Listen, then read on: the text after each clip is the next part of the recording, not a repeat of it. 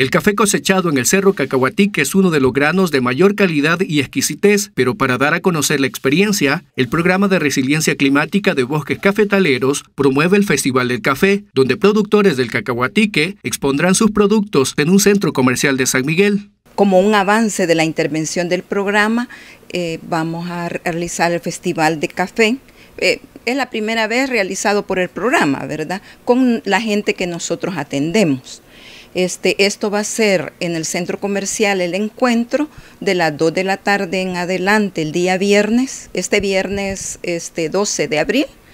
Y van a participar eh, los grupos emprendedores eh, mostrando eh, su café, pero también las cooperativas que como, como sabemos hay consumo de café, por ejemplo, de Cafeciva, de San Carlos, Acalema. El evento se desarrollará el próximo viernes a partir de las 2 de la tarde. Además de actividades relacionadas al café, se contará con otros productores como apicultura, cacao, entre otros. Esperamos contar con la participación de todos y todas eh, el día del evento. Se comienza a las 2 de la tarde, eh, se va a postergar un par de horas hasta el atardecer y en esta se van a estar haciendo exhibiciones de barismo, demostración de los productos de las cooperativas, de los grupos emprendedores, entre ellos hay café, cacao, miel, entre otros.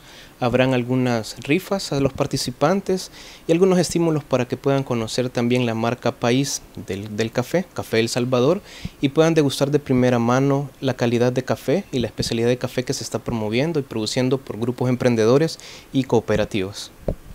Y es que según se comentó, el objetivo principal de esta actividad es dar a conocer la calidad del café producido en el Cacahuatique para diversificar la cartera de clientes y que más salvadoreños lo consuman.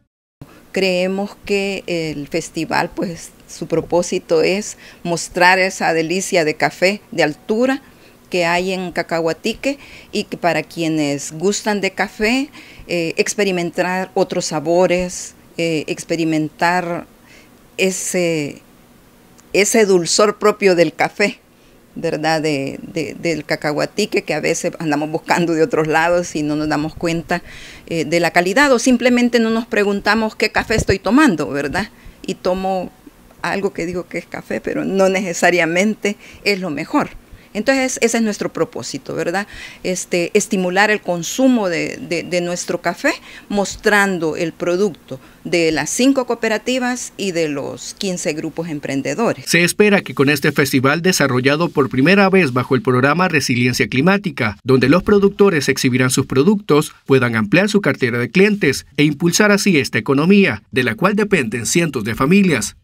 Informó para Noticiero Telemás, Saúl Amaya.